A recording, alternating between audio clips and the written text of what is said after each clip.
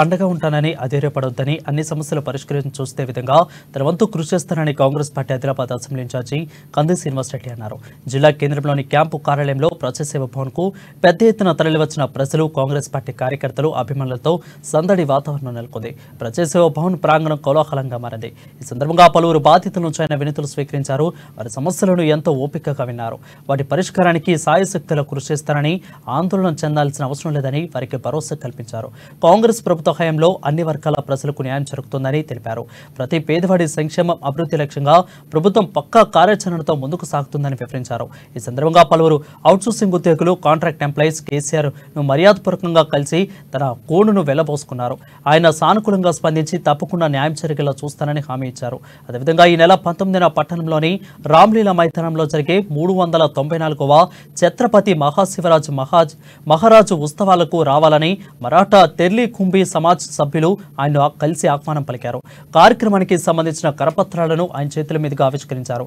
అదేవిధంగా సీనియర్ న్యాయవాది బండారి గంగ గంగారెడ్డి కంది శ్రీనివాసరెడ్డి సమక్షంలో కాంగ్రెస్ పార్టీలో చేరారు. ఆయనకి కడువ కప్పి పార్టీలోకి సాతరంగా ఆహ్వానించారు. ఈ కార్యక్రమంలో డీసీసీబీ డైరెక్టర్ పాలూరి గోవర్ధన్ రెడ్డి మాజీ ఎంపీపీ మంచికట్ల ఆశమ్మ మాజీ మున్సిపల్ చైర్మన్ డిబంగర్ రావు పాటిల్ అదేవిధంగా మాజీ municipal vice chairman Kandula Sukhender minority cell నాయకులు ఎంఏ షకీల్ మహమ్మద్ రఫీ అదే అదేవిధంగా గూడా సర్పంచ్ ప్రభాకర్ ఖలీల్ సయ్యద్ షాజా అలీ ఎల్మా రామరెడ్డి పోతన్న పలువురు కాంగ్రెస్ పార్టీ నాయకులు కార్యకర్తలు పాల్గొన్నారు.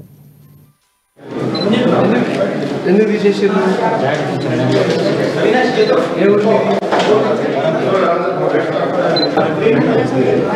లైన్ ఆఫ్ వెయిట్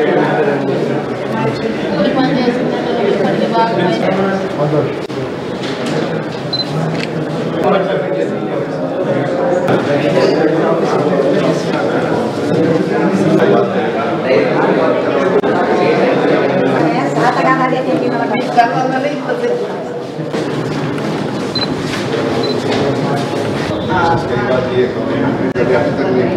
और दस బిజీలో ఉంటా మీ సైడ్ అదే అదే ఐదు అర్థాల్లో ఫోన్ చేసి ఇంటికి పోయి చూపించండి సార్ అశోక్ రా కొందరు ఇస్తారా ఎవరు ఇస్తారు ఇట్రా